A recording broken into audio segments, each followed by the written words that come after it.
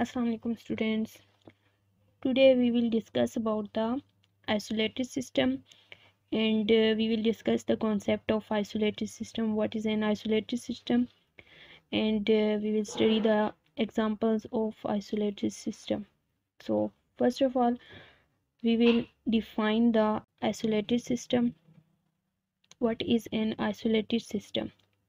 It is a system in which no external agency exert any force.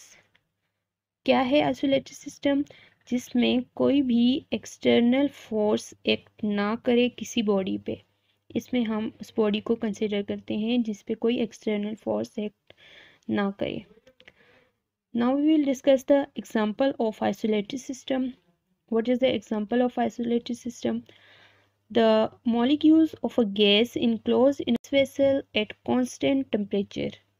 इसमें हम molecules लेते हैं gas के जो कि इनक्लोज होते हैं ग्लास वेसल में, और उसका टेम्परेचर हम कंसिडर करते हैं कांस्टेंट क्योंकि जब उसका टेम्परेचर वेरिएबल होगा तो फिर एक्सटर्नल फोर्स हो सकता है, उसके ऊपर एक्सटर्नल फोर्स एक्ट करे. तो इस केस में एक्सटर्नल फोर्स एक्ट करेगी, फिर वो आइसोलेटेड सिस्टम नहीं रहेगा।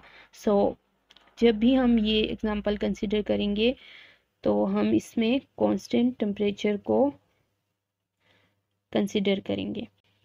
एंड आइसोलेटेड सिस्टम में हम एक बॉडी को भी ले सकते हैं और डिफरेंट बॉडीज़ को भी ले सकते हैं। सेट ऑफ़ बॉडीज़ भी हम कंसिडर कर सकते हैं।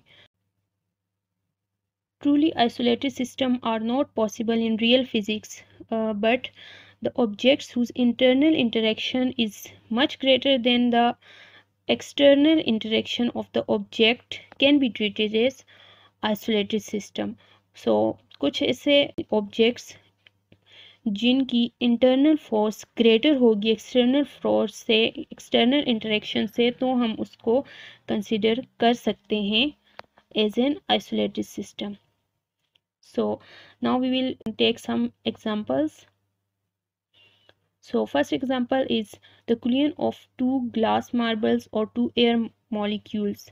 The collision interaction is large as compared with the frictional or gravitational forces. तो इसमें जो interaction होगी जो internal internal interaction होगी वो much larger होगी than gravitational forces. Similarly, the other example of isolated system is explosion of a bomb the internal forces are large as compared with the external gravitational force so explosion of bomb इस condition um, में भी क्या होता है जो internal forces uh, होती हैं वो मच लार्जर होती है as compare to external gravitational force so इसको भी हम कंसिडर कर सकते हैं as isolated system so I hope आपको क्लियर हो चुका होगा आइसोलेटेड सिस्टम के बारे में कि आइसोलेटेड सिस्टम किसको कहते हैं।